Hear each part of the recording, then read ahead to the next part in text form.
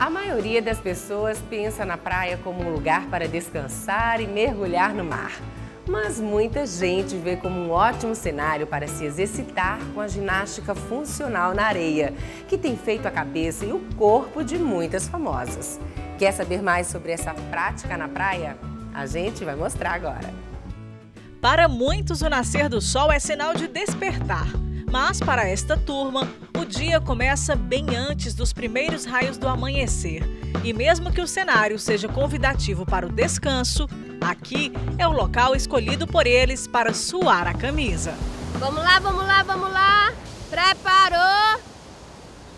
Valendo! Fazer atividade física olhando para o mar e se refrescar com a brisa da praia é, sem dúvida, o maior atrativo do treinamento funcional ao ar livre. Pelo visual, né? Que é melhor do que uma academia, com certeza. Não dá nem para comparar com a academia, o visual da praia. E eu acho que a queima de caloria é bem maior do que na academia. Tanto mexe com o nosso físico como com o psicológico, que te deixa assim bem leve para começar o dia. A aula começa com um alongamento e uma corridinha de leve. Depois, eles entram num circuito com 12 estações diferentes.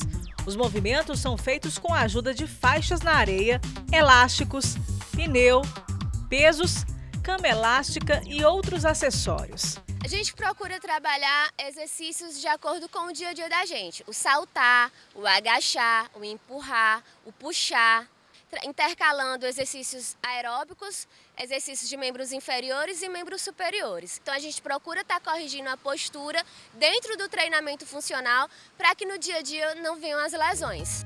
Marla iniciou o treinamento na praia há dois meses para se recuperar de uma cirurgia no joelho. Rompi o ligamento cruzado anterior completo, né?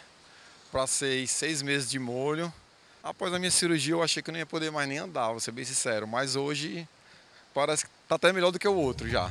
O treinamento funcional muda a vida das pessoas. Treinamento funcional melhora a coordenação motora, agilidade, velocidade, equilíbrio, potência e dá um condicionamento bem maior para o atleta que está praticante. A areia ainda ajuda a aumentar a queima de gordura. Em 50 minutos de aula vão embora, em média, 800 calorias. Lívia perdeu 6 quilos em apenas dois meses e já percebe as mudanças na saúde. Tinha muita dor na coluna, aí agora eu não sinto mais nada, nada. Durmo melhor, me exercito melhor, é, tenho mais disposição, trabalho melhor, estou rendendo muito mais o meu dia, está muito bom. Mas para chegar até aqui não foi nada fácil. Quem está começando precisa de perseverança. No primeiro dia eu já deu vontade de desistir, né? Porque o treinamento é extremamente pesado. Mas com persistência, com objetivo, com foco, a gente consegue, né? Para chegar no resultado desejado, Lívia contou com o incentivo da turma. E esse é mais um grande atrativo da atividade em grupo.